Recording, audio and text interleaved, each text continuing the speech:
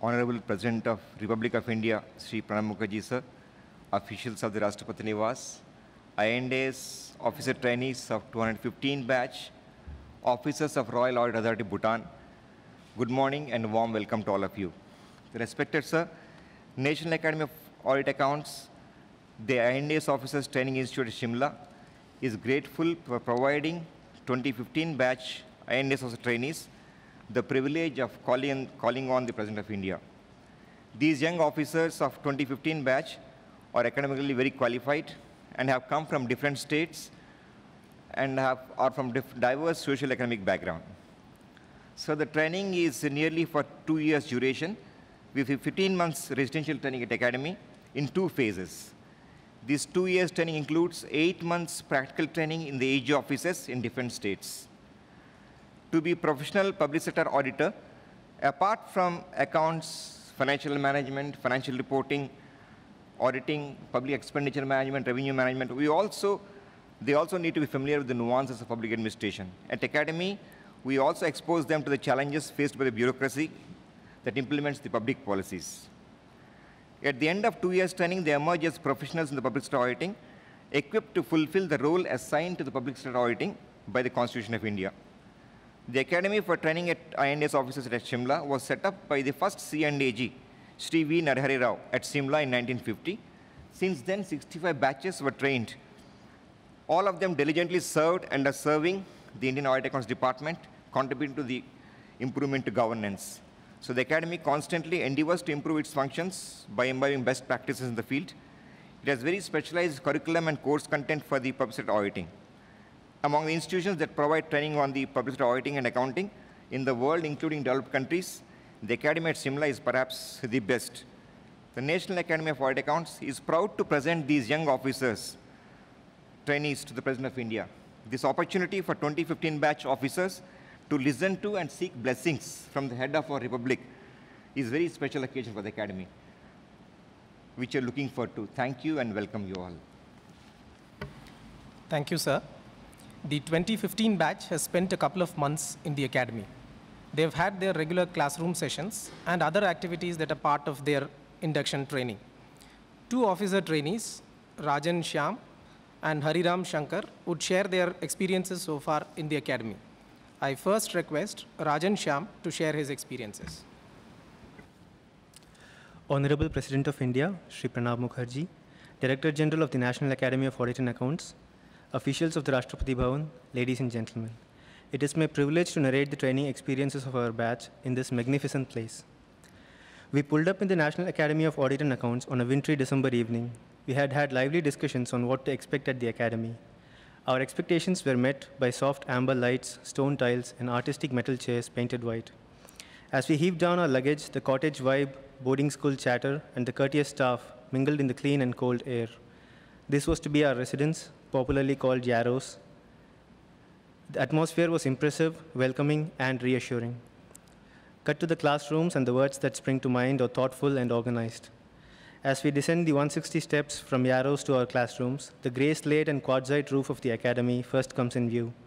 Next comes the motto inscribed beneath the front arch, Lok Hitarth Satyanishta. The classes themselves were a motley mix of group activities, guest lectures, and core curriculum. As we climb back the steps to Yarrows, our minds often rummage through the contents of the classes.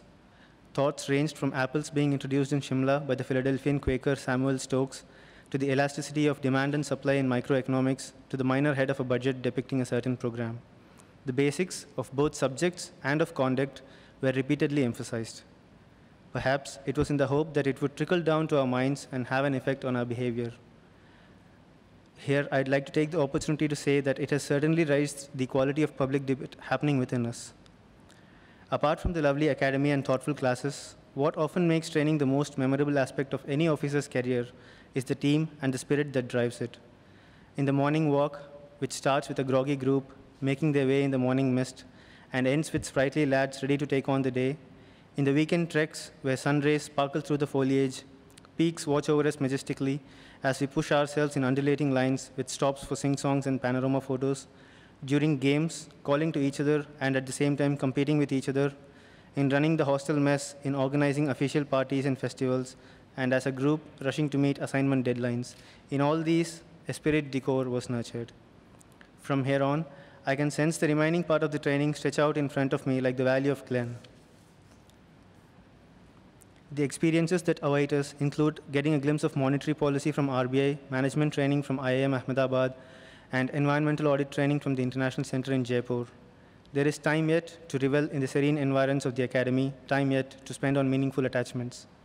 Towards the end of the training, I hope we would be able to say, in joyful regret, like Kris Kristofferson, isn't it kind of funny? Isn't it just the way, though? Aren't we getting better running out of time? Thank you. Let me now request my colleague, Sri Hariram Shankar, to continue the narrative. Honorable President of India, Sri Pranab Mukherjee, sir, other dignitaries, and my dear friends, it is a dream come true for me to be in the very building where India was built brick by brick. Hence, I think it is apt to describe how our training is building us brick by brick. At the academy, we officer trainees were pleasantly delighted to learn that both academic and non academic aspects are nurtured equally. One might say that IA and AS training has taken a leaf out of the Shanti Niketan way of learning. I vividly remember an advice one of our directors once said At the end of training, what you will take home is not government accounts or auditing principles. Rather, it would be discipline and teamwork and empathy for the people you, who you are working for, the common man. We learned this through our daily trek into the Cedar wilderness of Shimla. We learned this by running a crutch for the children of migrant laborers. Nothing else but humility can explain the extent to which our academy takes care of its staff. Recently, we officer trainees, along with directors, celebrated the birthday of a staff who had long served at the academy in various capacities. On the way back, he told me, I have served here for a major part of my life. What makes me want to stay here longer is the warmth and respect I receive from officers generation after generation. I know they need not do that for me, but yet they do. It is true that humility and egalitarian attitude has been and always will be the core of our value system. The academy and training so far reminded us that we are indeed servants of the society. To enrich our experience with the best diversity our society can offer, in the short span of a month, we have already celebrated Pongal and Lohri with joy and laughter and revelry.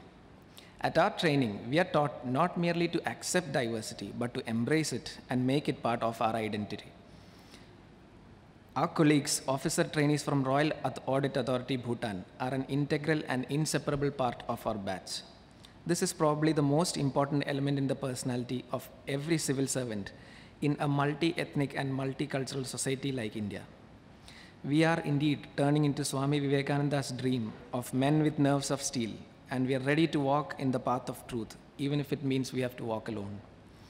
On the altar of India's sovereignty, the Rashtrapati Bhavan, we are proudly declaring that we are now well on the way to be fully equipped to uphold the constitutional duty that has been bestowed on us and will strive to the best of our abilities to see the nation achieve greater feats. Thank you. As a token of our respect, I request the Director General to present the Honorable President with the memento of Yarrows, the home of the officer trainees.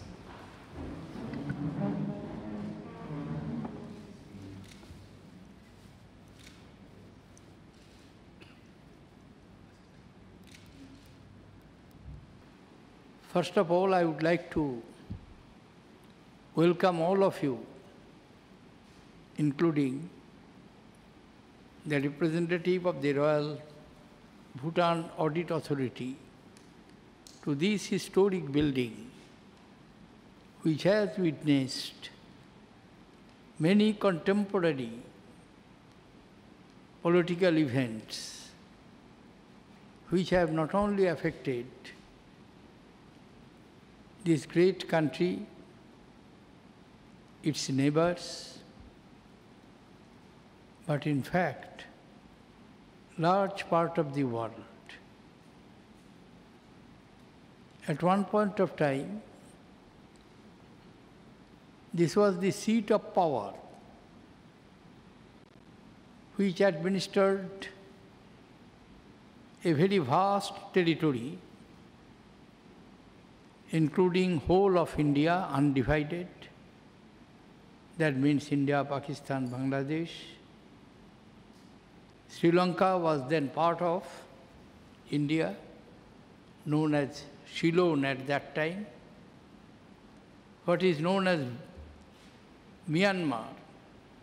At that time it was known as Burma, Singapore, and up to Aden in the Gulf, territorial jurisdiction of the British Governor General from 1919 to 1947 till the partition of India comprised these territories. Later on, of course, many of these became independent sovereign states like Singapore, Myanmar or Burma, Ceylon or Sri Lanka, etc. The service to which you belong to is also a very old surface. Uh, of, in the history of 190 years of the British rule in India, first 100 years from 1757 to 1857, the British government and king decided to leave the day-to-day administration to a mercantile company which came to India for trading, known as East India Company. From 1774 to 1857, they administered on behalf of the sovereign of United Kingdom, Great Britain,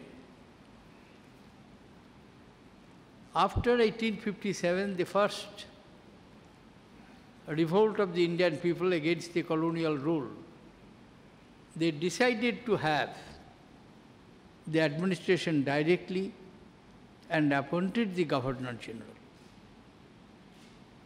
Earlier also the post of Governor General was there,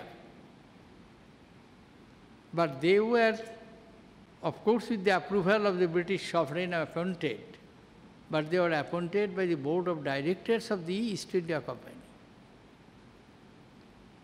1858 onwards, Governor General was directly appointed by the British King or Queen.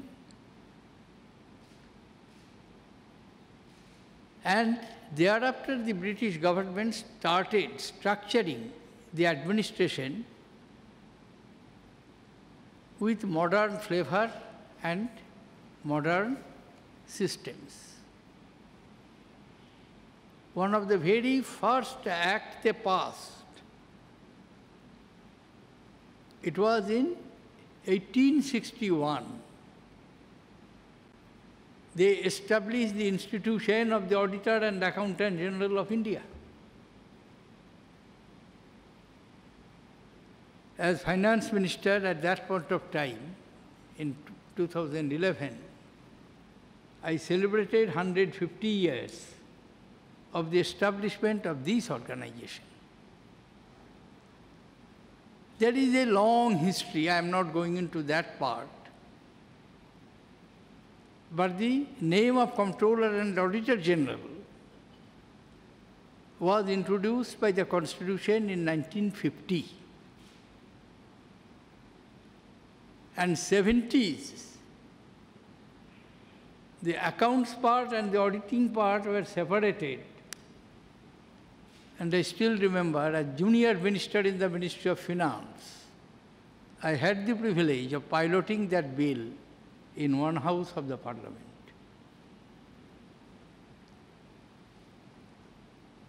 What is your job? Once I had to observe that this is in office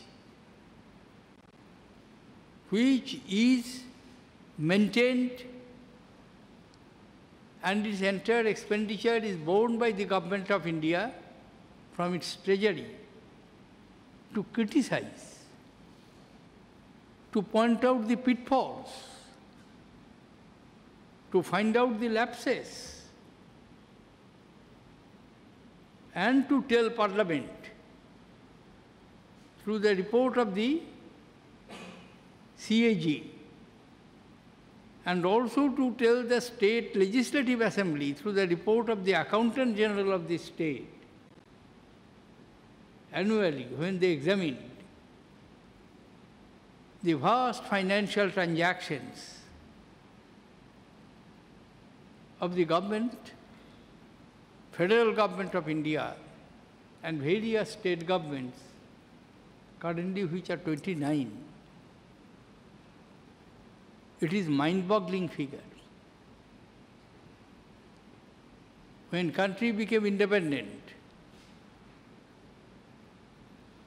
in 1947, the first budget of independent India, which was presented by the then finance minister, Shanmukham Chetty, you will laugh at the figure. The total revenue budget was 293 crores of rupees. I'm sorry, 297 crores of rupees, of which 271 crore is the income of the government of India, 116 crores from income tax, which is an old tax, 50 crores rupees, 51 crores from customs duty, and there was a very peculiar tax at that point of time. It was imposed on imported alcohol. And the amount was very small. It was roughly about two and a half to three crores of rupees. That was the total income of the government of India. And the expenditure was 297 crores. And the balance 26 crores was known which is called in modern economic term as the deficit financing. And the budget, current year's budget I can't tell, only finance minister and his team knows, which will be presented on 29th February. But last year's budget, total budgetary transaction of the federal government alone was 16 lakh crores of rupees. Deficit in the initial days was 26 crores of rupees. And today it runs of these 16 lakh crores of rupees government's own income through revenue and various other things after distribution to the component states, revenue will be about roughly 10 lakh crores. And 6 lakh crores is the borrowing. This is only federal government. You are to add to the, because you are directly responsible for looking into these huge financial transactions and whether it is as per the financial rules which you will be trained and which as the trained officers you will be doing throughout your life in the next 30, 35 years. So that is the responsibility. But one may come to the conclusion that perhaps it is the total negative rule. No you also have to contribute. As your Director General pointed out, that you are an instrument, a cog in the big wheel to provide good governance, to provide welfare government, which always looks at the welfare of the people. It's no longer a police state where the only three jobs were left to the government. Rest of the things were done by individuals or society. That is defense, to protect the border, to maintain law and order, and to dispense justice. When the states were formed in the course of civilization of human history, these were the three main jobs and functions. It was whatever you may call, earlier days it was community, thereafter it was king or royalty, and thereafter now we talk of democracy, which is run by the people, for the people, consists of the people. Therefore, this is not totally negative, it is also has a positive aspect. The second point which I would like to tell you, I congratulate you for choosing this public service after passing a very difficult competitive examination and by any standard which is considered as one of the most difficult competitive examination in the world. Not only you belong to a very old traditional service, by passing through a very difficult competitive examination, but equally important point to be underlined, that at such young age, you will have the tremendous responsibility which, except the public service, in no other service you will get. The amount of responsibility which a young officer, after coming out of the academy, going through rigorous trainings for IS training 158, 358 weeks, and thereafter some other type of trainings. Yours is clearly two years first, and thereafter other various trainings. But that is not the end of your learning. Learning is a process which you shall have to keep in mind in the language of our father of nations, Mahatma Gandhi, that you learn with this mode that you are going to live forever. That means throughout your life you shall have to learn. So you will learn in your academy, you will learn in your first assignment, and in course of your long career of 30, 35 years, you will find that there is no end of learning. Nowadays, we are providing various type of exposures and facilities to our young civil servants. Because you are the eyes and ears of the government. Persons like us who come and eh, channel the political executives most of the times we are raw materials, particularly when we enter into. As a young MP or as a junior minister. And always there is a saying that rate of mortality is very high in the realm of parliamentary politics. Average life of an Indian parliament or Indian parliamentarian is seven and a half years. Average life of an Indian minister from 1947 till date, it is two, two and a half years. Of course, there are exceptions, including me. I used to tell in my later days in the parliament that I have become an antique piece in the parliamentary structure of country because I have served parliament for nearly four decades and have served government of India as minister for quarter century. But average rate of mortality is very high in India. Therefore, from that point of view, you are the permanent basic structures.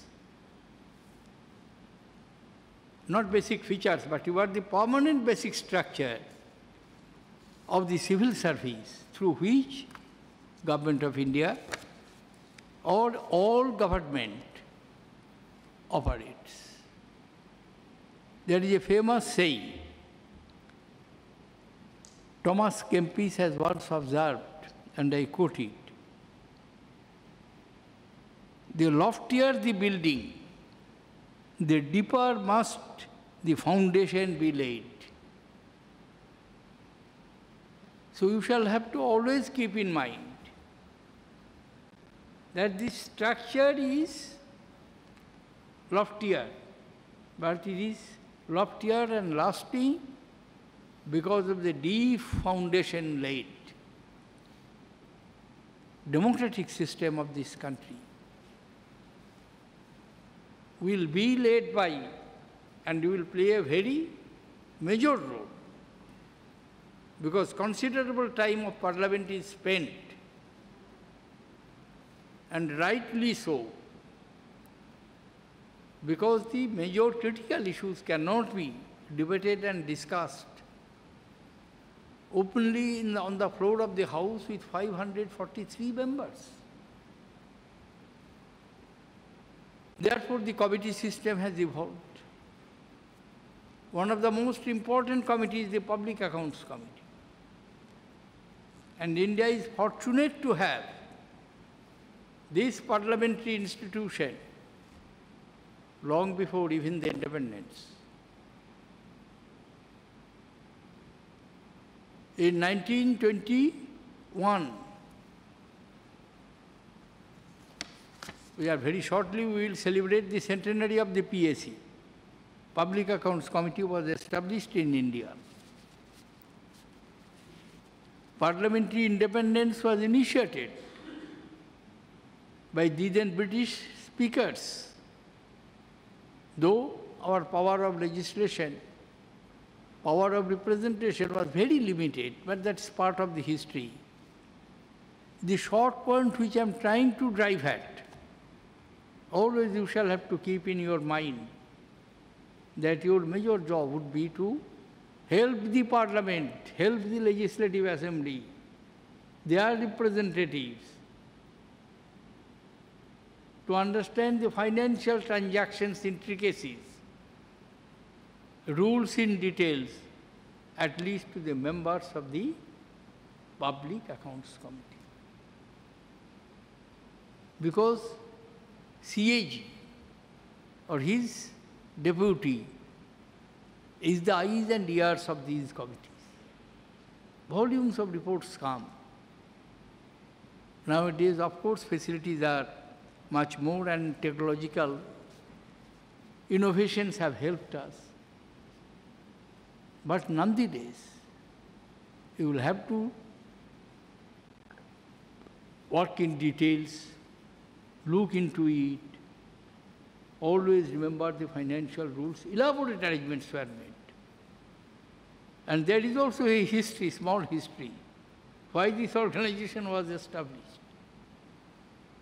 Because to their utter surprise and also dismay, the members of the board of directors of East India Company found out after a vast tract of Indian empire was acquired by them that they are extremely corrupt.